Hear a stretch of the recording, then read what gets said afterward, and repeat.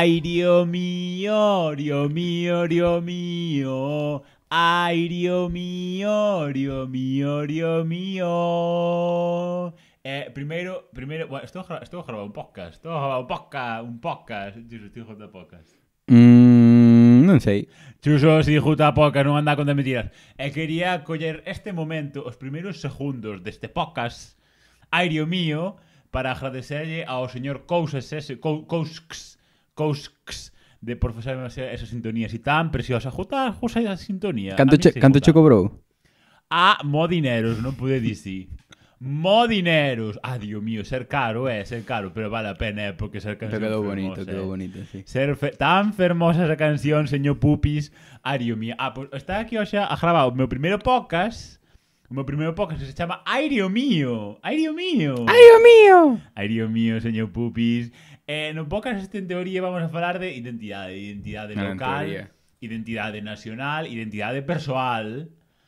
Mais, bueno, a min os podcasts que me gustan son os de falar así, desbarrar así sobre xente, así, así que sea un pouco así aproximativo. No, o sea, o da identidade vamos, vamos a tratar sí ou sí, sí ou sí, pero vai ser un pouco identitivo, é así. E hoxe temos un convidado de excepción que se chama, hoxe temos aquí ao señor este, que se chama Pusotis, a.k.a. Culitos, a.k.a. señor Pusotis, a.k.a. Oincoinco, a.k.a. señor Cerdo, a.k.a. Chufo, a.k.a. Chuso, a.k.a. Miguel Silva Conde, a.k.a. anteriormente coñecido como o Este, como o, o Aquelle, o, o Ese, Sorprendentemente, todo isto teno escrito, eh? non vai a pensar Pupullo, a, non a xente, eh. nada escrito. A xente que non está vendo o vídeo, isto Pupos. está lendo. Eh... Pupos, non ter nada escrito. Non ter escrito, que improvisa todo que é moi ingenioso. Purrusis. Que tal está ti? Chamas eh, como era o okay, aquello? Si, como era a cousa que tiñas? Xa, xa non me acordo, é verdade. Pasaron... Pupo, non conta mentira, que se que acordar, como era? Pasaron moitos... Pupo, moitos non andate conta mentira. Eran, como eran, era? eran outros tempos. Pupo, como era? Non sei, aquele creo que creo que Pufo. era aquele.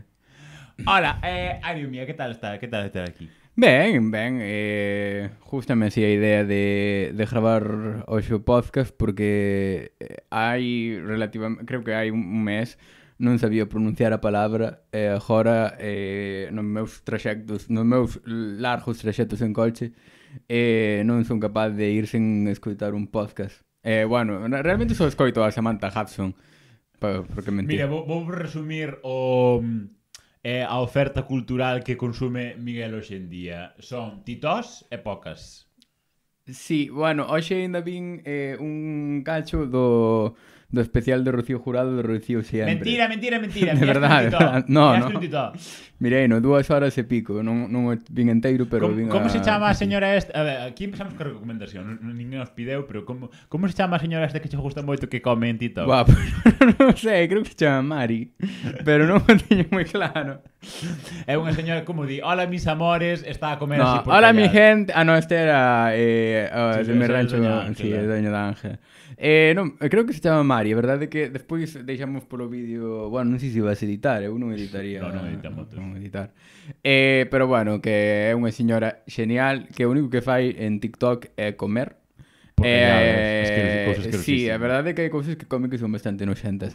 Joder, outro... Que, de que era o bocadillo? Non me acuerdo que era o bocadillo. Mítica xente que lle mete as patacas fritas dentro do bocadillo. Ese é o nivel. Ou seja, hai que ser puto asqueroso. Pero a señora é super simpática e ademais que hai moitísima xente que insulta e non entendo por qué. Porque a señora simplemente... Ai, eso non é saludable, non sei que. Home, non te jode. Gracias, amiga. É que só fai unha cousa que é comer eh, vese que está contenta e feliz e non sei porque hai xente que ten que ir aí a dicirlle estou gorda xa, xa sabe que está gorda xa sabe, xa está Cala a boca.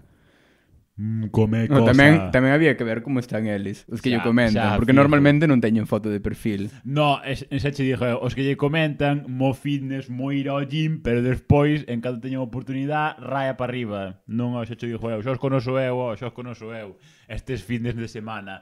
Eh, Chus, teño unha pregunta para ti. A ver. Pode preguntar o cosa a ti? Sí. Pode preguntar o cosa? Sí. Chus, esa era unha pregunta bastante importante. Vale. Chus, eres unha cochina marrana. é que, ves, ese tipo de cousas de TikTok... Ui, que me cago, Katia. Ese tipo de cousas de TikTok a mí me fame moita gracia porque... Eh, xa, xa non só é porque me fajan gracia, porque En realidad tampouco é para tanto, pero que ver que esa merda ten 2 millóns de likes Xa é moi eh, gracioso. vivimos nunha sociedade que aínda se pode salvar. O sea, ver que esa merda ten 2 millóns de likes é como o señor este negro que só sube vídeo dicindo "Uh, homosexual, homosexual, ah, homose moi homosexual, esa mirada homosexual. Eh, ver, que esa xente ten como un millón de likes en plan, o bueno, pois pues, hai 2 millóns de persoas que neste mundo valen un pouco a pena. Mira, é que outro día estaba eh, Miguel mirando cousa, un, o TikTok, un TikTok destes de Somos dos cochinas marranas, que era unha señora que cortaba o pan e despois, en vez de botar a, o coitelo de cortar o pan para pa lavar, metía outra vez dentro do cheo dos cubertos, e así e dicir, ai, Chuso, coñeces a canción esa original, tal? E dicir, ai, é como se mira eso, tal? E non sabía, non sabía darlle ao de mirar audio, o audio original, é así. O sea, mírate Pero que eu recoñezo que son un mundo. señor maior eh, non me avergonzo Puso, no, eh, necesito maior. reafirmarme niso porque hoxe vin eh, un TikTok que me representou moitísimo dunha, dunha tipa que poñía eu intentando facerme adulta con meus eh, alumnos de segundo de bachiller mm. estaba tipa toda seria mm, eh, intentando non rirse, no? que se che ven a cara que estás en plan intentando ser unha persoa unha persoa mm, intentando ser unha persoa adulta, aínda que non non nos hai, E, e despois eh, puñía, bueno, intentando con esa cara seria e despois aí aí. Eh, pero despois chamulle tías. E, eh, eh, que é real, o sea, eh, sinto-me super identificado que teño Ufa. que se, intentar ser unha persoa maior, mm, unha persoa maior, porque senón non me sae ser isto, ser adulto. Chufo, porque ti monovita, mo, mo, mo pequeña, Dios mío. Ainda está a tomar biberón, mu, mu, mu, tu tetita como a Wendy No, no, pero de verdade, que, que me funciona moito para pa a miña performa de adulto crearme unha persoa maior. Unha señora de 50 anos concretamente. Chufo, ti non ser nada, señor. Bueno, sí que ser un poquito maior. Porque ser malo, malo, malo. Ser así rabuda. Malo, malo. Ai, Dios mío. Cotilla. malo, ma- Ai, Sí, Dios mío. sí. Mira, mira, non sabedes, bueno, non sabedes esta xente, a mí sempre, sempre me pregunto así, En plan, como mítica xente de boxe, eh, así que di moita xente así, asqueros, cousas asquerosísimas. En plan, en público, díjome, se si di todo iso en público, imagínate o que non ten que dicir en privado, chaval. Imagínate o que non ten que dicir. Cousa parecida é Migueles. Bueno, non é tan malo, é eh? cousas peores hai, eh? pero bueno. tamén se lle cheja. Pero non me respondestes á pregunta. Eres unha cochina marrana? Non puso. Ai, Dios mío, upi, Dios mío. Acaba aquí xa, eu non quere, Chusu, te que ser cochina marrana. Sí, a ver, un pouco que cochina marrana sempre se foi. No me quiero... Non me, no me acordo como é. Somos dos cochinas marranas juntadas por el destino. Eh, eh, despois decía ajo de caca, non me quiero bañar. Chuso, Dios, que despois, qué despois péjala por riba neste caso. Bueno, eh, eh, eh que, que tal, que tal levas o día? Que tal o xo día che foi? Ben, hoxe o día bastante ben, a verdade bastante que fermós, día... a verdade que foi un día fermoso. Sí, foi un día fermoso, ah, foi, foi un pouco cutre en realidade, eh, porque fixen un curso das oposicións que non sei para que me vai valer. E aprende motos. Uf, mi má, aprendín Pum! a, ao comando F e buscar eh, todo o que poñía para, para facelo. Pero, ben, sen máis, estiven lendo o tema que vai caer nas oposicións este ano.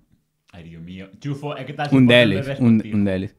Ben, moi ben. Por dar bebés ben contigo. Sí, estou, basa estou bastante contento con como se portan os bebés. Realmente. Hai veces que me porto peor eu que eles, incluso. Ah, porque pufo ser tan malo, poñer... Suspenso, suspenso. Mm. Falta de. Como se diga? Un parte, un parte. Eu chamo lle parte ainda, a mí non me igual como se chama, realmente non, me chamo, non preguntei. Sí, non, non, non sei, non falamos moito diso, verdade que non tive necesidade. Dixen un que lleva a poñer un e ainda non lle puxen. E teño que poñerllo, pero xa hai Ai, mío, Pufo, un pouco de retardo. Pufo, desestimar a autoridade de Pufo. Pufo, nada autoritario. No, no, no me teño moito. Cosa fea, nada autoritario. Son moi autoritario. Bueno, a ver, este, a ver, o, o, o fin, o fin primeiro, o fin, prim, o fin primoxenio deste, de sabes de por que se a palabra primoxenio? Porque porque en, en, en Pokémon, os, agra, sabes quen en Grodun Kyogre e Rayquaza? No. Tres, os, tres, os, os tres Pokémon así lendarios da, da terceira xeración. Sí. Pois despois teñen así como unha... A, despois fan as, as ultra evolucións. Pois teñen unha, unha, unha forma en plan primixenia que son así en plan como así máis grandes desatados, é eh? así, chamalle forma primixenia. Eh, sabes que palabra aprendi, aprenden eu nun, nun videoxojo é que agora utilizo como se fose aquí a persona máis culta do mundo. A ver, cal. Miscelánea. Que é eso? É como un conxunto de cousas random. E eh, poñeo no Sims Eh, ah, sí, é verdad. que era miscelánea. Eu en plan, que ah. significará isto? Eu en plan, será unha palabra do Simlish. Eh, anos despois, anos despois dime conta de que era unha palabra que existía e adaptei no meu vocabulario como para quedar de culto, cando en realidad é unha puta paleta. Chuso, sabes que eu sei unha canción en Simlish? Sí. Queres que cante eu? Sí. Saber cal ser? Sí. Chuf, mira, ser, esta canción chamase eh, Mulcle Locuna. E di... Tipurruna, Tipu molke mol mulcle locuna, me ben be papcurra marumba. Jota. Moito. Eri mía, a min tamén jota cosa de canción. Boa, o videoclip, mira, bueno, falando así de cousas máis off topic aínda, en plan de fora de fora de tema, é o puto videoclip de, de, de, esa, de, de canción esa de, de Dulce Locura adaptada aos Simlis dos, dos, de la oreja de Van Gogh dentro, no, o sea, o, o videoclip está feito en no, na, no xogo dos Sims 2. É unha puta fantasía, é unha puta obra de arte, de verdade, eh. Eso non sabes cando cando porque obviamente para saber en plan como os estamentos de cada década, é así que normalmente como eh, como como organizan agora en plan como os movimentos culturais, eh, hai que mirar en retrospectiva, non. Eu creo que cando miren en retrospectiva, o que sei, no 2050 ou así, os os hitos culturais dos 2000 vai estar esa cousa, porque ser videoclip, pero ti miraste o videoclip. Sí, pero realmente tampouco é que me marcase Puso tanto como precioso. para... Nah, eu non metería dentro dos acontecimentos Buforio mío, non andaba a ti metería, metería mil veces máis a María esta que come comida. Ufo, pero se ser dos 2020 Te, eh, si, si algún día me fajo tiktoker invent, invitarei na a vir Ufo, se ser tiktoker, que subistes dous Dous, dous tiktok. Eh, inventa, invent, invitarei na a vir ao mesón boiro Aire mío. E pajarelle un bocadillo de, aquí, de milanesa de polo completo e outro de criollo. Dende aquí queremos pe, queremos pedir, mira, xa que xa que estamos, eh, bueno, normalmente os podcasts que escoito teñen así sponsors, eh, así, por favor, desde aquí pido encarecidamente ao Mesón Boiro que me que me fajan así un texto para para poñer aquí de cuña de publicidade. Pero o sea, sin que sin que nos pague igual, bueno, total. Bueno, mellor un bocadillo gratis ao mes, e xa está. Nah, mira, tampouco son tan caros, realmente tampouco. Pufo sí. Vale, Hai que vale. pedir cosa. Eh, ah, bueno, sí, este, este couso este couso está feito para falar así de identidades e así. E mira, hoxe, hoxe comezo Gustaríame empezar o caboiridade e eh, así, pero a xente non quere vir aquí facer cosa, así que empezamos ca rianxidade. Chamase rianxidade, como se chama a, a condición de ser rianxo? Pois a rianxeiridade ou así. A rianxeiridade... Oh, non juta esa cosa. Ri... Bueno, si... Rianxeiridade tamén, claro, tamén xeito, non? O, claro, o, o xentilicio é rianxeiro. No, é rian... Como é ser? Ai, bo, mellor hai variacións. Non, non, non hai. Como é? É que claro, boire, eu, bueno, estou acostumbrado a decir boirense, así, pero a mí hai, hai xente que me ten dito, en plan, que eres boirán ou algo, cousas así. A ver, hai xente vota por ela. Estaba recollido. Ah, bueno. Pero claro, estou acostumbrado xa Eu esa clase sí, bueno, ui, a, clase de a, esa clase na carreira non fun. Boa, os cousas... Nin sequera no instituto. Bufos! Ai, Dios mío, que poucos aprendidos, eh, Dios mío. Así salir bebés desde de cole, Debeume, sin saber nada. debeume cra- cadrar no San Lázaro por aí. Ah, por certo, podemos falar un pouco así da decoración así do set este que montamos aquí. Temos aquí a Tina de Bob's Burgers, de cando era a, a superheroína de tocar culitos. Temos a boneca de Juno Birch, Juno Birch Icon Trans Legend. Temos a, mu a muñeca de Hello Katia, que é a irmán comunista de Hello Kitty para, para como se di, nivelar o seu decadente eh, consumismo capitalismo. E temos un cómic de Dead Note en alemán. No, é de Dead Note, sí, é de Dead hmm. Note. Mm a como mo friki, eh? Como es tan friki, churro, que tes todas estas Ay, cosas? Non nada. Pufo, son todas cosas de Chuso, non anda a ti a contar cosa mentira. Ai, mire, teño imáns de cosas destas de merch meu. Alguén quer un imán de merch meu? Bueno, claro, porque isto só ten vídeo en plan no show de Patreon. De... Claro, non, non fagas moitos silencios tampouco, porque senón... Pufo, si fases silencios. Si. Ai, mira, ah, teño aquí eh, un print de Seb Dalisa que eh, eu tamén sei así mo fan de Serdalis se queredes comprar, eh, contactade a arroba Mary Chapela en Instagram que ser cosa preciosa, Na... mirade Un dos podcasts que escoito tamén e xunto co de ah, Samantha verdad. Huston que é o, mm, é o que máis escoito porque é o que máis me gusta Tamén escoito a veces o de Club de, Fla de Fans de Rec, que é o de Soy unha pringada. eh, dá moitísima rabia, que eu, claro, uno escoitando no coche, e eh, Eh, enseñan, ensinan cousas na cámara. Ensinan cousas na cámara constantemente. Eu en plan que eu non teño cámara eh, esti non teño cámara. Deixa de ensinar cousas porque non teño cámara. E eh, eh, dame así moita ansiedade eh. Upis. Pero mira así de vez en... Mira tamén vídeo de Youtube, descarga e mira tamén. No, non... Non junta no, mira. A ver, non bueno, velo no verdad, coche. ti solo escoitas o podcast ese de Samantha Hudson cando vas aí en brum brum. Eu tamén. Bueno, eu normalmente escoito podcast cando cando estou así facendo pesas, e así. Mima, algún día casi me teño matado de que digan algo así gracioso cando están facendo podcast. Eu en plan estar a levantar así peso, é así. E mima, eh? o sea, por pouco un día estaba facendo prensa, o sea, casi queda un puto encartado, no, prensa no, eh, sentadilla, casi queda encartado, en plan, abaixo, en plan, porque xusto me dou un ataque de risa do que dixeran, é así. Mira, eu escoito, eu empecé a escoitar Whimsically Volatile, Agora escoito eh, The Bald and the Beautiful de Katia, escoito Ebony and Irony de Money Exchange e eh, Lady Bunny, escoito Sibling Rivalry de Bob the Draking e Money Exchange, Eh, calma, escoito, escoito ese do, de Samantha Hudson Ás veces así, porque moitas veces levan convidados Que dixo, este sí, es normal pero, eh, plan, En realidade, o, o, ese podcast A min, a min justame porque é super predicible eh, O único que consiste, sabes, as míticas series predicibles Como pratos combinados nos xa. que sempre pasa o mesmo Ou como pesadilla da cocina Ou cosas así que sempre pasa o mesmo Pois ese é absolutamente igual. Samantha acaba falando do seu eh, comunismo e das súas cousas e o resto pois están a escoitando. Xa, porque aparte é o podcast de Samantha é de Netflix en teoría cada podcast está basado nun contido original de Netflix. Contido original que lle axuda a Samantha e ao Jordi pero obviamente teñen que mirar e falar deles algo ao principio do programa para decir ah, mira, pois pues isto porque é de Netflix e tal, pero suda completamente e vese a puta lejua. Pero bueno, está bonito. Hmm. Non me gusta. Ah, e tamén miro, ah, en gallego miro fora de mapa, bueno, miro, escoito, coño. Escoito fora de mapa sempre, escoito de parola, escoito a lareira, e os outros de vez en cando, é, si, porque, bueno, unha das principais, eh, como se chama, das principais motivacións que tiven eu para facer un podcast era eh, intentar escoitar podcast de gallegueiros que eran insufríveis.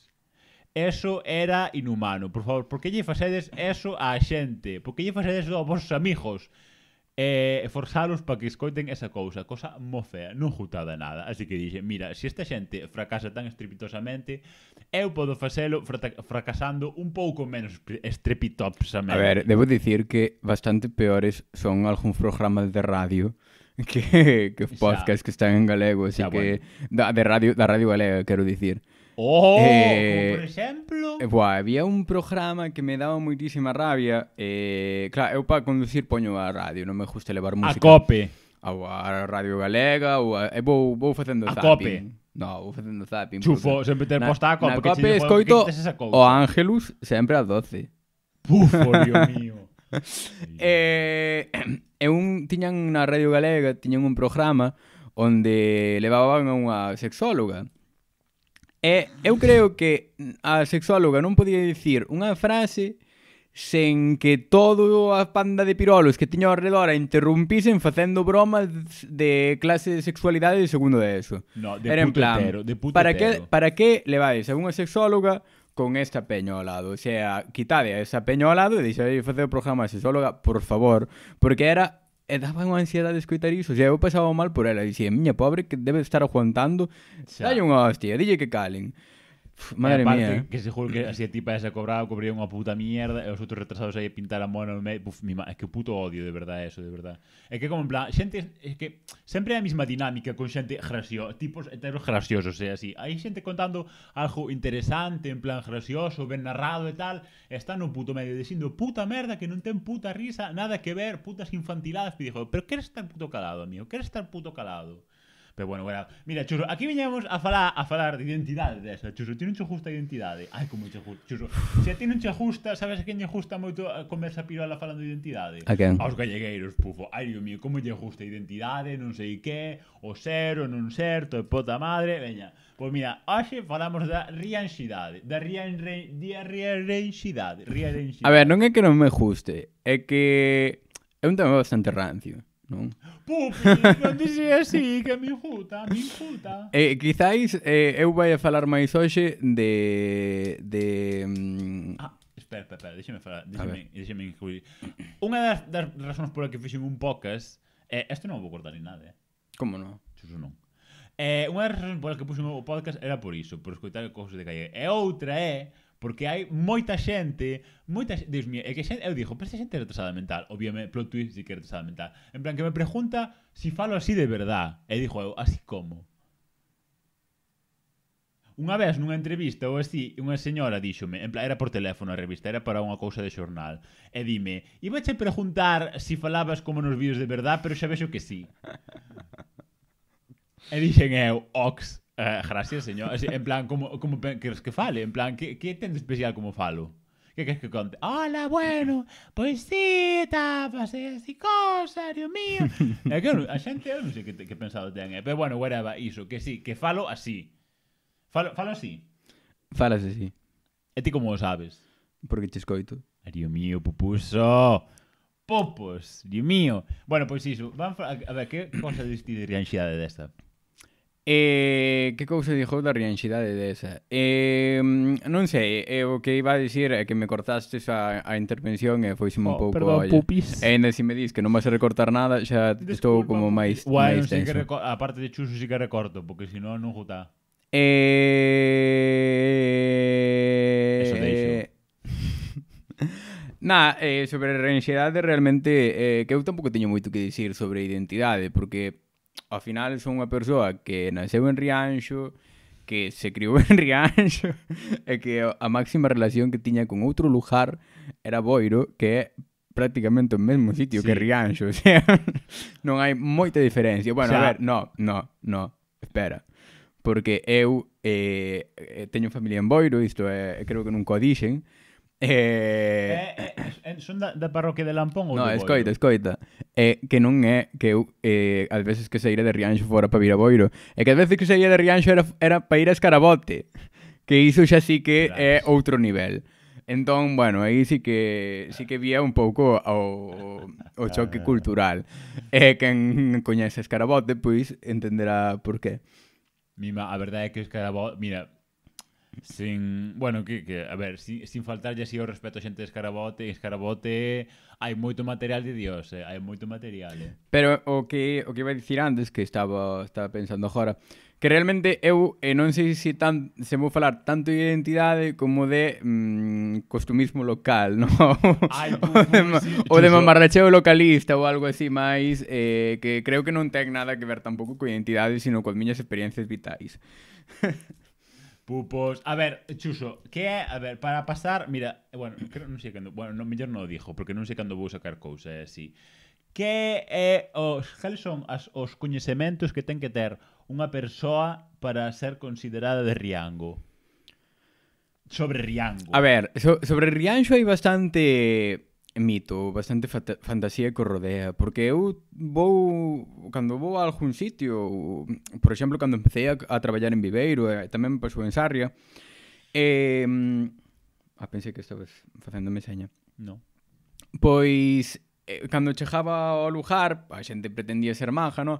E eh, dicíanme cousas como Ah, pero claro, sendo de Rianxo, eh, claro, Rianxo, terra de escritores, tal, e eh, buen plan. Ajá, sí. Entón, sempre coincidía que cada vez que me din eh, eh eso, que, bueno, que ao final pois non deixa de ser un comentario para pero xeo, non?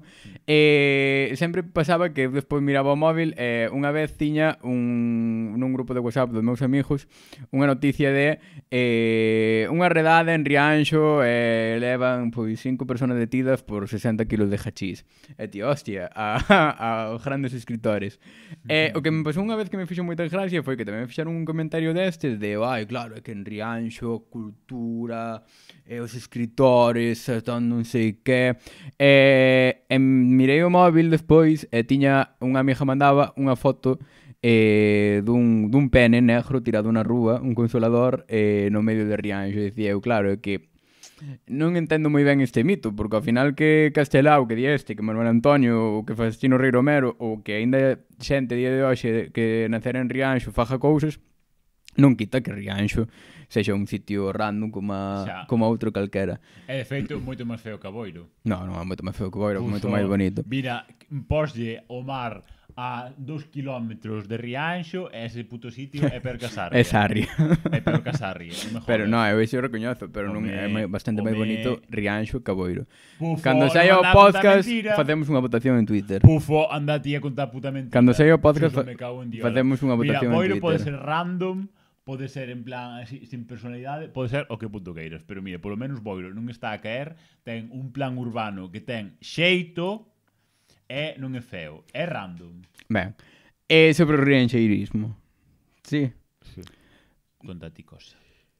Vamos a ver, en Rianxo temos unha cousa. Ah, sí, bueno, vou dicir unha cousa sobre Riango, é así que claro, aquí, bueno, obviamente o, o consello que máis en plan próximo culturalmente, dende a miña perspectiva, está é Riango, é así, porque os de Puebla, uns putos chungos. Os de Ribeira xa non che dixo nada, unha panda de putos as que chunguísimos. E, e os de Rianxo diste, bueno, están aí, non fa mal, tal Pero sí que hai moito, en plan, como complexo, é así De que hai xente que, claro, en Rianxo xa así máis cultura, é así Porque claro, están todo o día a venderlles de pequenos Ai, non sei que escritores importantes, ser de Riango, non sei que E tamén hai como presos de que en Riango que falan Gallego normativo, tiñes escoitado que dixi, ai, si, vas de Rianxo, fala gallego normativo. Dixo, pero esta xente, que mundo vive? En, puta, a Juan en, ria, Rianxo. en Rianxo, no. No, a Juan nunca foi un Rianxo.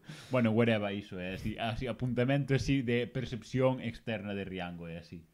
Ben, e despois o que me preguntas de, de ser de Rianxo Eu sei que creo que Rianxo ten unha característica E, e teño lido algo que, que queda moi bonito en, varios libros que din que Rianxo é un deses sitios que aínda se resiste a deixar de ser. Eh, uh. real, teño lido moitos sitios. En, en realidade creo que un pouco de é un pouco certo, porque ao final eh, o, a, a presenza da lingua está aí, en Rianxo mm, vas pola rúa escoitas falar galego. Eu un día fixen un proxecto eh, no instituto con un chavalado do instituto e dixenlle que canción poñemos eh, para un, bueno, vamos facer un vídeo. Que canción poñemos de fondo? Vale calquera, no? Eu esperando que me dixera, eu que sei, a Padial, non? E xeronme, oh, poñemos esta de SES que nos gusta moito. E boste, non? Quedeime como, como super pillado. Ao final creo que sí que hai eh, un... Sí, sí que hai algo que, que, bueno, algo non, a cultura que, que temos que sí que nos achega moito máis á lingua, que hai, men, hai unha normalidade total eh, do galego, e que a, a ah, moitísimas tendas teñen todo escrito en galego, que é o cousas que non pasa habitualmente. A que ten todo escrito en castelán chama a atención. Eh, tampouco hai como un rollo de que os que fala galegos pois son nacionalistas ni nada así, porque hai tremendos fachas, jodidos xa, fachas claro, esa cosa... eh, de UPP, de Vox, eh, que, que che falan en galego sempre que demais defenden o galego, pero que son uns putos fachas que morres. Mm. O sea, pero de Viva España pero pero eu falo galego e o meu fillo vai falar galego, non? É, é como... que a min, a min gustaríame facer unha enquisa realmente, ou seja, porque claro, obviamente, sobre todo, aparte, o xente do PP, en plan, como outro día que se lia a noticia isto do PP, que había rapaces que dixen que non querían falar gallego porque porque o, o en plan enlazaban con o nacionalismo, algo así, non sei, unha parida que flipas, que gustaríame facer realmente unha enquisa sobre os votantes do PP e o porcentaxe de falantes en gallego e os votantes do BNG e os, e os e os porcentaxe de falantes de gallego. Eu penso que gana por goleada os do PP. Ou seja, aquí todo o mundo... Eu non fa... teño puta idea. Bueno, non, aquí non todo o mundo fala... Pero todo o mundo que fala gallego, o sea, de máis de, botelle, 40 anos, claro, eu, todo o mundo votou Iso é o, que, é o que me refiro. O que me refiro que pasa en Rianxo, que creo que nos caracteriza moito, sobre todo, a, a, a como nos ve a xente, non? Que ao final, chegas ali, e, eh, eh, pois iso, hai unha presenza... É que hasta no cemiterio O sea, este no é cemiterio, o sea, vas ao cemiterio hai. e están as lápidas escritas en galego, que eu creo que é dos poucos sitios nos que pasa. Mm. Eh, e ao final, esas cousas chaman a atención. Pero bueno, que non vou falar de lingua, porque estou hasta aquí da lingua. Ai, eh... pupuso, mío, pupuso demasiado tarde. E vamos a falar entón de, de cultura popular. Eu creo que outra das características que ten Rianxo é que mantén moito a súa cultura popular e que a crea, que sigue creando cultura popular non é que se quede pois que as festas que se levan facendo anos e anos e anos, non? Incluso como Nin no, as costumes Riango, que levan facendo anos e anos e anos. Solo hai Guadalupe, ir emborrachar toda a semana e listo. Eu creo que eh, esa é unha, unha das características que, que pode diferenciar a, a rianxeiridade. Fase grandes. Eh, non, non, refíreme a outras cousas. Por exemplo, eh, bueno, obviamente, se teño que falar da rianxeiridade ou da rianxe... Como lle chamabas ti? Eu que sei. A, a, a, algo. Bueno, despois cando escriba porei unha cousa, pero acaba de chama como queiras. Eh, é a, a festa da Guadalupe. Sí. La Virgen nos de cando, Guadalupe. Nos cando imos por aí, eh, o sea, ademais é algo de cando eres eh, novo, eh, e sai de Rianxo e eh, a xente di non sei que da festa, non, ti xa vas a contar que é a Guadalupe.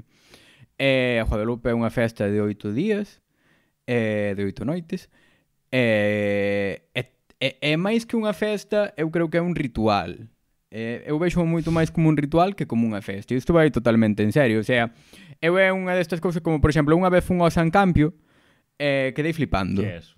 é unha romería, eh, creo que creo que se fai por Serra de Outes ou algo así, e quedei flipando, porque me lembro de que había ese rollo de ritual de ir primeiro á misa, eu era pequeno, eh, acordo perfectamente, de, creí eu tocado, eh, de ir á misa Aí empezou todo. De pasar polo lado do santo Que eu teño un medo ás esculturas terrible E eh, supoño que estaría cajando por min E despois íbamos como a un cruceiro E dábamos lle voltas a un cruceiro Non sei se oito ou así A xente toda dando lle voltas ao cruceiro E despois collíamos agua nunha fonte Que estaba ali ao lado do cruceiro E Eu creo que a Guadalupe ten esa parte de ritual e cada día ten unhas costumes determinadas eh, que todo repetimos e que todo facemos.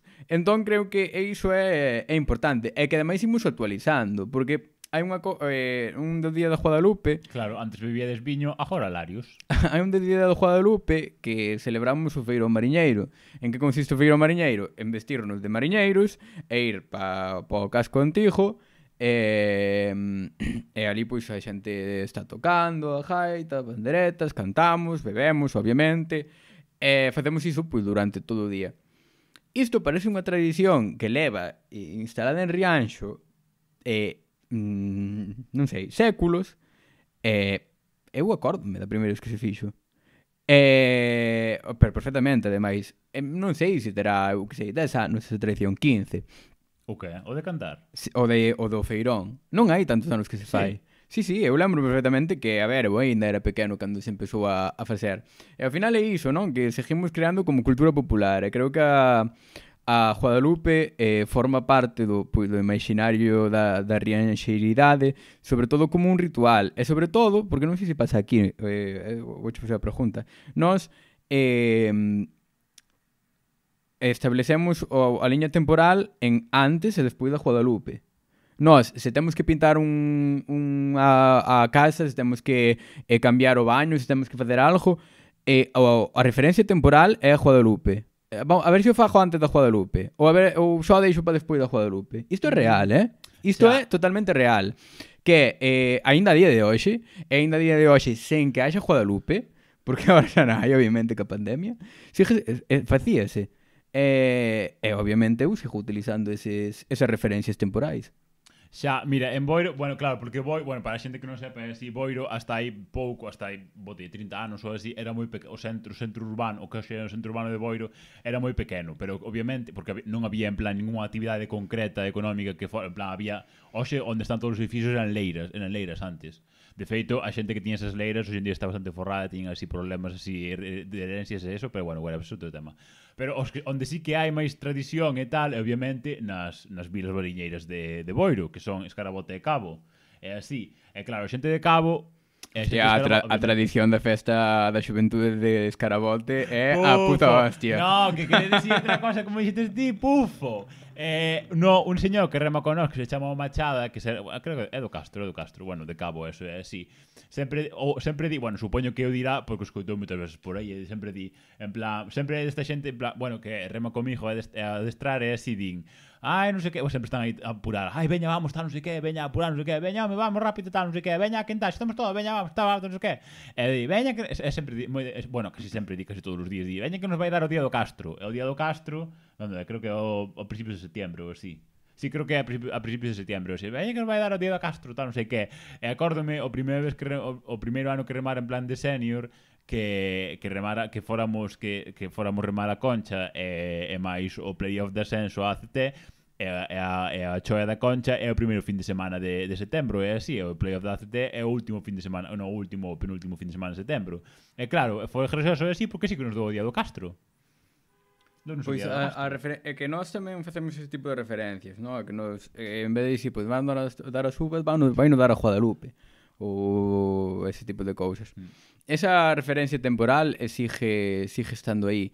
Eh, e jo, eu creo que creo que salientable, non? Canto menos, porque ao final eu teño teño vido a, festa, a festa de Boiro, obviamente, Eh, eu non vexo ese rollo de ritual, non? No. Non vexo ese que... rollo de ritual. Pero, por exemplo, si o vexo nas festas das parroquias de Rianxo, e cada máis algo super, super guai, non? De, de, por exemplo, eh, festas en en eu coñezo todas as festas de Rianxo desde, desde mañá hasta a noite porque toquei nunha banda de música 10 anos, entón fixen as festas todas, con pasarrúas, procesións, etc. E hai unhas festas en Leiro, eh, as festas eh, da patronais, e eh, non sei agora mesmo cal é a patrona de Leiro, supoño que Santa María ou algo así.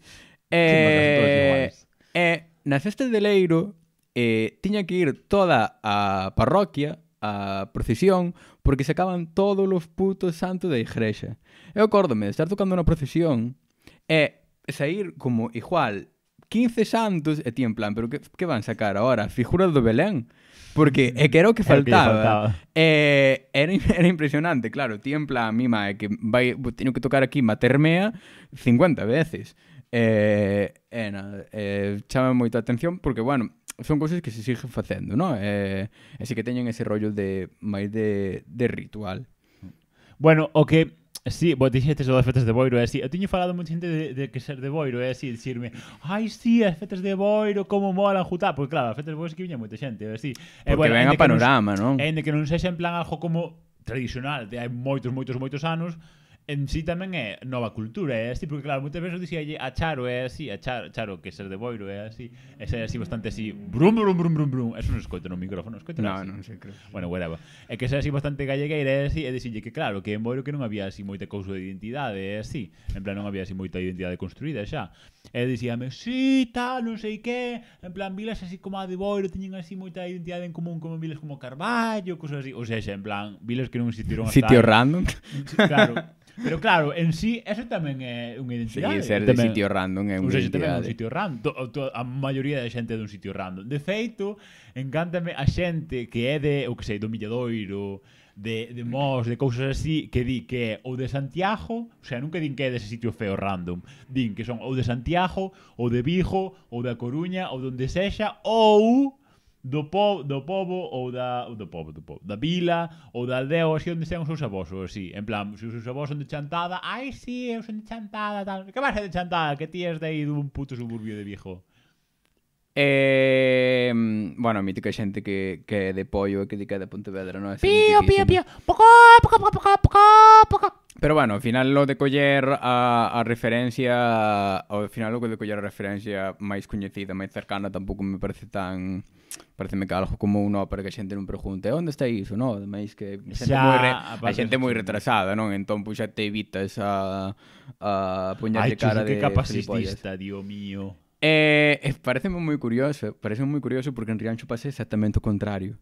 En Rianxo temos un problema de separatismo terrible. Eh, real. Eh, a xente... Sabes que tamén un pouco, porque claro, Rianxo, de feito, é, é, é curioso, é así, porque xusto o que pasa polo me, por onde pasa a carretera normalmente, a, a, onde, por, por onde pasaba a que era antes a carretera en plan nacional, xeral, pasa por Tarajoña. E Rianxo está máis para ali. E en Boiro pasa o contrario, a carretera pasa por Boiro, e o que está separado é Cabo da Cruz. E pasa o mismo con Cabo da Cruz e Boiro, o que pasa o mismo claro. con Rianxo e Tarajoña. Déxame contar a historia. En Rianxo, a xente das parroquias nega ser de Rianxo, non? Que en plan, que pon no teu puto DNI, non? Vamos a ver, que pon no teu puto DNI? Que de... No, é coña. Pufo! Como dese É coña, é coña. Fea!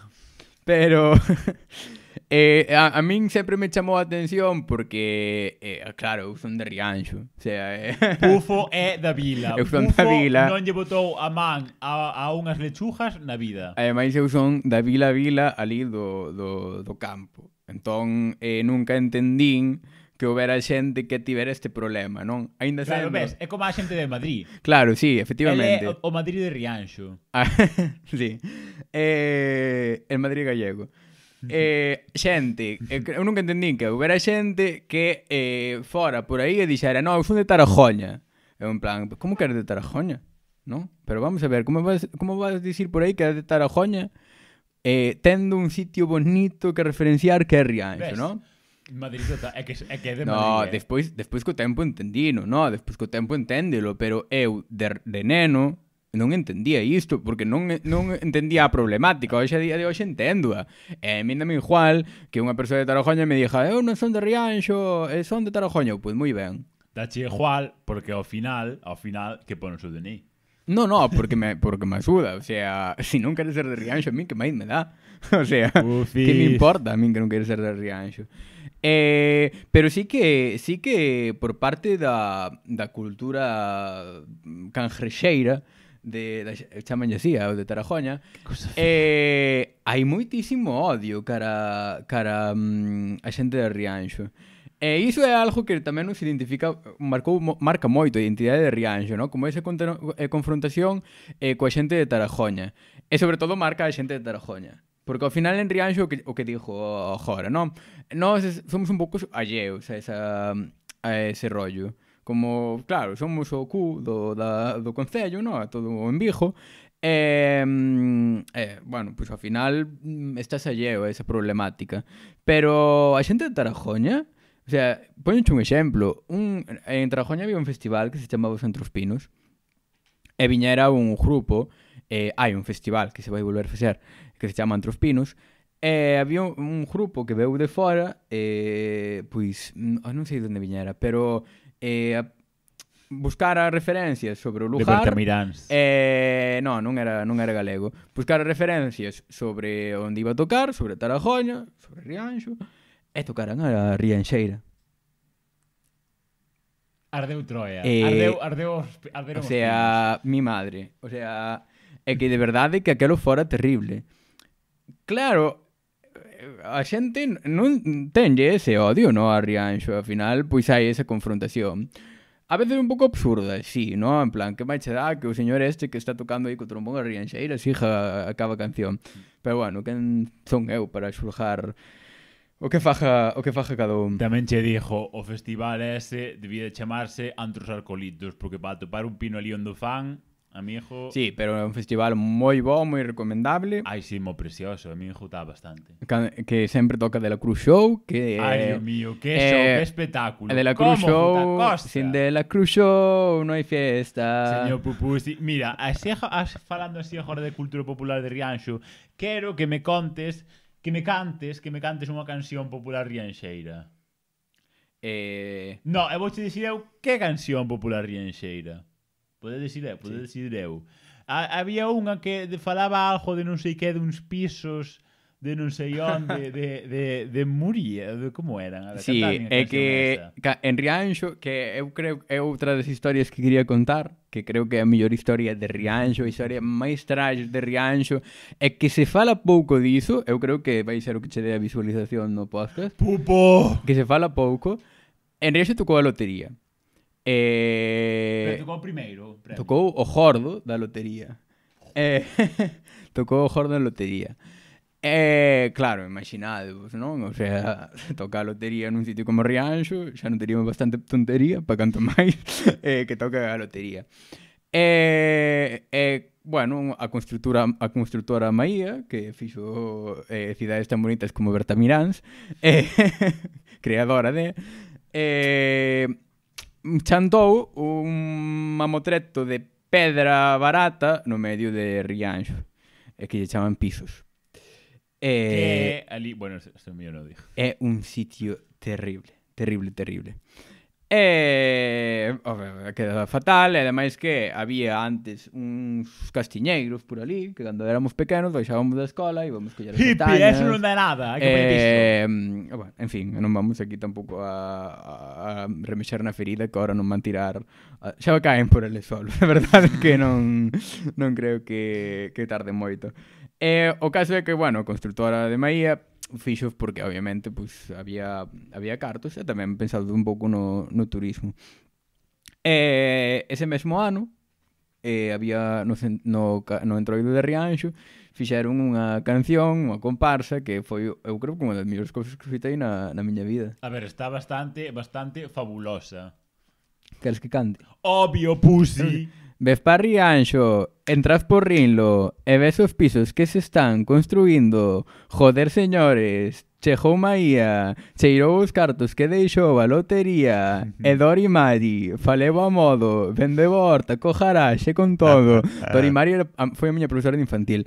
E mira Maruchi, que foi moi pilla, pide dous pisos e unha casa pa bombilla, e Maruchi sale ahora no, no Land Rover, o sea, isto todo... non, po- non podemos parar de, de dar referentes. E a quen lle importa o que dixan por aí? Compra os pisos de Maía, os de Maía, ai de Maía. Ai, Dios mío, un aplauso para Chufi, Dios mío. Ai, que ben cantada a cosa como juta a min. A min juta moto é música popular, a min juta moto gallegada, se así, ves, o sea, dentro de 100 anos van cantar a canción esa de Maía. No, non, porque a xente non a sabe. Chus, eu, non, non a sabe. Sei non eu porque son un puto friki. Chus, non, que, saber que non, que non, que non sabe, que non sabe. Ufi, pero pensei canción moi bonita. No, eh, é, ti no, compraste piso... Ah, pero a ver, ti non compraste piso de Maía. No, eu non comprei piso de Maía. Porque sei un pouco, un pouco así, un pouco pouco si de mejón. Pero ve outra cosa tamén bonita en, en Riango ali na, na capela ali que está Espera, ali no... que, que, que falando da, das cancións populares Nós temos, Mío. bueno, eh, hai unha cousa en Rianxo que, que mm, en Rianxo cantamos bastante. Demasiado. Sí, cantamos bastante. Demasiado. Eh, é bastante típica, non sei se fai no resto de sitios. Eu, a verdade, é que nunca vivín eh, esas cousas fora de, fora de Rianxo. Eso que teño bebido e ido de festa por moitos sitios. Leva así, tía. Eh, eh, en Rianxo cantamos moito. E sobre todo cancións populares. Mm, é moi mítico, non? Poñerse a cantar as míticas cancións eh, populares nas festas. De feito, en, en fin de ano, en, en Rianxo fai a volta por os bares, vaise bebendo por todos os bares antes de cear, eh, e, e noite boa, e os vellos cantan e a xente súmase a cantar. O sea, non é que vaya que vaya alguén cantar, non, é que os vellos van de bar en bar e vanse sumando a, a cantar. É cun algo moi bonito. E hai moitas cancións que ao final en Rianxo eh, que, que, o sea, que forman parte da... O sea, que, so, que falan de Rianxo, que, ao fin, que é curioso. Aquí hai cancións que falan de Boiro. Que o separa. Había unha que non me acordo moi ben a letra, que era Corre rianxeiro, veña mariñeiro que van a chejar eh, Os nosos mociños que veñen do mare eh, Que veñen do mare, que veñen do mare, veñen pola ría Mira como veñen, cheo de sardiñas É unha canción moi e bonita. agora está en perigo de extinción. No, ahora non está en perigo de extinción. Bufo, non dá conta mentiras. Eso. Ah, e había unha cousa que, bueno, que me fai moita gracia, que xa estamos acostumados a cantar cancións que falan de Rianxo, que sabes a mítica canción dos catro vellos mariñeiros? Hmm. Os catro vellos, vai, baja, baja mariñeiro, vamos para Viveiro, xa se ve San Roque, que ademais que é unha canción antiquísima, si, sí, non é como Rianxeira que ten eh, 40 anos, eh, non é como pois cancións que son eh, popular de, de hai pouco tempo, desde hai 100 anos, ponlle, esa canción é antiquísima. Eh, que agora non me vou arriscar, pero mm, é antiga. Eh, en Rianxo teño escoitado Corre Mariñeiro, vent... oh, no, perdón, eh, como era? Boja, boja Mariñeiro, vamos para, para Rianxo, xa se ve San Roque. Que en plan, como se vai ver San Roque? Rianxo, como se vai ver San Roque? Como moito verase, non sei, eh, o monte do Castro ali. Pero non se ve San Roque. San Roque vese en Viveiro e, e, eh, eh, e non en, en, en Rianxo. E fai moita gracia, porque ao final, claro, naturalizas, non? Que as cancións teñen que falar dese sitio, e pois pues, pa diante, porque non vamos a dicir Rianxo en vez de Viveiro? E, eh, na, quería, quería contar a historia. E eh, un saludo para Viveiro, que estuve traballando ali, é un sitio moi bonito, moi fermoso. Hai como junta e saludos Vivero, para, eh, saludos si, para si Viveiro. Se coñecedes a alguén de Vivero, comen below e así para traer aquí para falar da viveiridade.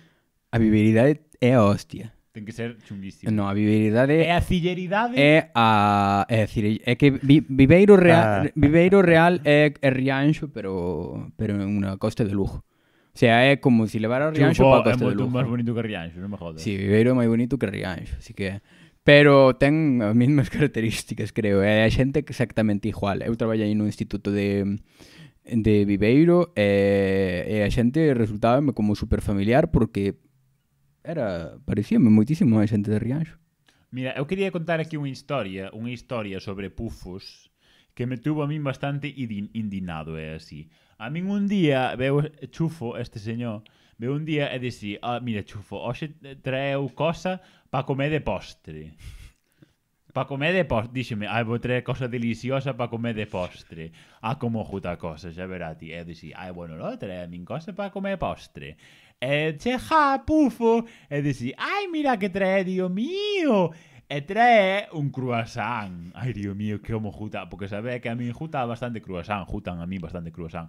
Un croissant do Lidl de 29 céntimos. Juta, hai un pouco de masa follada así en- enroscada e un pouco así cosida. Juta cosa.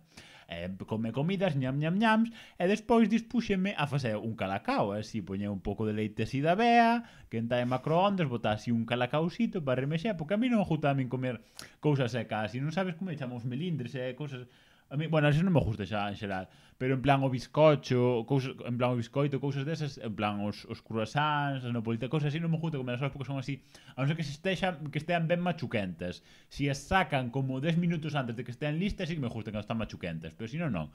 Entón fixen un colacao para comer croissant, para pa mollar así croissant, e, e cando me poño así a, a, a comer, dime mi hija, ai, é, chuso, dame, dasme, dasme un cacho de croissant. E di, claro, diñe un cacho, piñe así o piruco.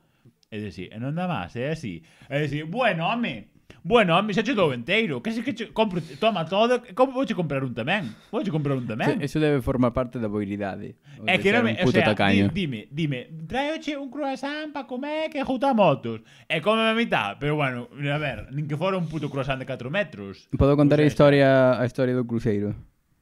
Que foi do cruceiro? Ah, sí, contá, a ver, contá cosas. Vale, volvemos a, a rianxidade porque senón... Chufo, non volve a facer cosas tan feas. Xa estamos a casi mm, unha hora de programa eh, ainda non contei a historia do cruceiro, xa non, non creo que vai escoitar ninguén, entón pois... Pupa, hostia, eu escoita. Eh, en Rianxo tocou a lotería, non? Que me cortaste esa historia. Eh, cando tocou a lotería, cando tocou a lotería, espera, porque teño outra historia boísima, eh, despois de que tocara a lotería, muchísimos anos despois, eh, un señor dos que lle tocou a lotería en Rianxo saliu, saiu na interview, sí, na interview, que agora xa non existe, creo, non? Eh, contando que perdera todos os cartos. en fin, unha das cousas que, fixe, que fixo a xente que, que lle tocou a lotería en Rianxo, a mí non me tocou, eh, non, non, non cheiramos un euro, Eh, porque, de feito, tocou en Tarajoña, gran parte. Eh, pero en Rianxo, en Rianxo tamén quero, eh, uh, creo lembrar. Eh, unha cousa das que fixeron foi facer un cruceiro. Un cruceiro moi random, moi moi random, porque o cruceiro está nunha capela que está como no recheo de Rianxo, ao lado do, do muelle. Eh, esa capela antes estaba eh, como nunha illa, eh, non, non se podía chegar andando prácticamente nunca. Eh, bueno, pois pues, aí non sei canto tempo aí tampouco eh, recharon todo, encharon todo e, agora obviamente podes ir no coche. Está ali no peirao. medio, si, sí, está no medio do, do recheo. E fixeron ali o cruceiro, que tampouco pinta moito, pero bueno, fixeron o cruceiro. Ben, pois un día achegueime ao cruceiro, achegueime á capela, San Bartolomeu é a capela. E si te achegas e miras, ves que eh, ten como unha capeliña, o cruceiro, dentro ten unha Virxe da Guadalupe e ao redor ten unhas bolas. E esas bolas teñen uns números. E efectivamente, son... efectivamente, ese números son o número da lotería que tocou que o que ganaron o premio que ganaron o Jordo ese ano. Pode haber cousas máis puto trash. E non te acordas que un día había unha pava que era historiadora da arte que estaba dando como unha, unha guía en plan por Rianxo e, de, e dixolle algo en plan do cruceiro, algo así. Así que Mira, eh, eh esa, esa pava é que, mira, eh, claro, é que eso, pasan, pasan esas cousas. En Rianxo conocemos Rianxo, eso para empezar, porque, porque o conocemos. Eh, eh, e, e ve unha señora a dar unha charla a dicirnos cando, cando dixeron isto de que a, a, a Xouves estaba en peligro de extinción e dixera a señora ai, eh, e se a xou, no, se as sardiñas están en peligro de extinción a ver que facemos despois en San Xoán haberá que buscar alternativas. Eso vai cambiar moito a nosa maneira de celebralo. E a xente de Rianxo en plan, vivimos diso. Non sei che pasou pola cabeza que antes de dicir Ai, a ver que comemos en San Xoán Pode dicir, a ver de que comemos? Bonita. Mira, en fin, un, un percal eh, un, un puto percal Pero no, non, non sei si así, non, Tampouco é unha historia que se sepa moito eh, Creo, o do, o do cruceiro Porque tamén se hai que acercar para ver as, os números das bolas. Ti vais as bolas E diste, va, eh, ornamento Pero no, ornamento, mis cojones, ¿eh? eso é terrible. Hostia, invertir así os dineros de... Ai, que sonitos. Invertir así os dineros de lotería en, en cosas así, bueno, en patrimonio, sí. pa, pa, pa cidade, pa, pa, pa a vila, es. Pois eu alegrome moitísimo en realidade de que fixeron, porque eh, eh, para min é boísimo iso. Como é, como é o, o retrouso da canción de Maía? Compro os pisos de, de Maía. Maía. Ai, de Maía, os de Maía. Non sei como se gira, eh, tiña a letra no móvil mima, porque era inteira a canción. Sí, claro. Que, que na fixo? Pois había unha comparsa que se chamaba Cada un con quen veu, que fixo varios anos, pero, ui, cousas moi terribles, eh? porque eu aí atrás, eh, remexendo en queixón, se topei un, unhas, unhas letras e había unha que se chamaba As Mariconadas. Porque, claro, fora na época na que se aprobara o, o matrimonio das persoas do mesmo sexo. Eh... Bueno. Eh, terrible, de verdad que, que terrible. Eh, ah, xa estás. Xa contei moitas cousas, Pero non? eu creo que escuta a canción esa de, me, de mariconadas, que a mí juta moito pois, mariconadas. Pois despois busco os libros que o jardei e eh, paso xo. Vale, pupo, eh, peño outro eh, programa e eh, eh, canto. Bueno, pois pues podemos ir acabando xa. Bueno, xa falastes bastante. A ver, ah, ah, sí, bueno, aquí puxen cousas así. Por que te gusta tanto Cheyenne? Non é que me guste tanto Chayanne. Gústame a performance de que me guste Chayanne, que é Xa, diferente. É, é diferente. E sobre todo gústame a performance de ser unha señora de 50 anos que eh, lle guste Chayanne. Pero o Ricky Martin. Ou Ricky Martin. Pero en realidad eh, si, Chayanne non me gusta moito. Eh, a, as cancións sí que me gustan. Ojo. Eh, non me gusta moito Torero. Torero parece unha, unha canción super, eh, supervalorada de Chayanne. Eh, pero ten cancións que, que me gustan, pero tampouco me gusta moito como canta, en realidad. O que pasa é que como así, como un deus, eh, aí está. O sea, eu creo que hai cousas, é como pois Rocío Jurado. De cando será o último disco que sacou Chayán? Do 97 ou así. Bufos. Hoxe tamén me estuve vendo algún directo de Chayán. É flipante, enfádame un pouco ver o directo de Chayán porque é un pavo eh, cos tipo está topetado E, e leva moitísimos anos cantando. E o único que fai no escenario é isto. Estou movendo os brazos para arriba. Eh, en todas as cancións. O sea, non, non fai outra cousa. Dai os brazos para pa arriba. E dixo, joder, márcate un puto paso de baile, non? En cambio, ves, eu, eu son un gran amante de, da cultura pop mexicana e latinoamericana eh, ves algunha actuación de, de Yuri ou algunha actuación de, de Gloria Trevi, que son señoras como xa super maiores, máis maiores que Chayán, eh, bailan que flipas, cantan que flipas, estánse movendo constantemente, Pero, pero si fan un espectáculo impresionante, eh, con guapísimas vestidas e eh, Chayán pois aí che vai eh, co seu a camisa negra ou coa súa camiseta branca sudada a darlle aos brazos e eh, vía ao final eso cabreu un pouco porque en plan dame, dame un chisco máis isto como cando foi o The Weeknd este a, a Super Bowl. Polo, é o que Pero vamos decir, polo menos non é un cómic hetero que vai coa camiseta do Biona e cos pantanos cheos de corrida. Eh, bueno, podemos ir acabando aquí cosa e así, porque agora imos a facer o, o pod, post Dio mío, o post Dio mío, onde estaremos discutindo quen temos silenciado en Twitter e por qué. Abure, ah, Dio mío, abure. O chao, que chao. se enjadir algo máis de Riango, é eh, así.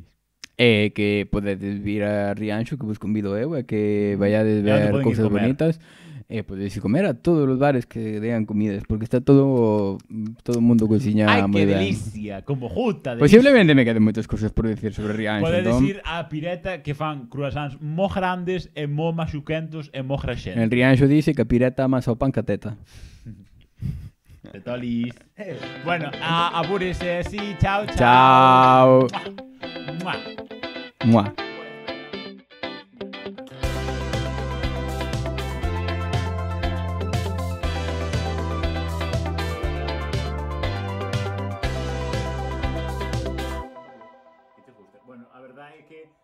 era clivaito de falar así de quen temos silenciado. Ou queres falar de quen te silenciado?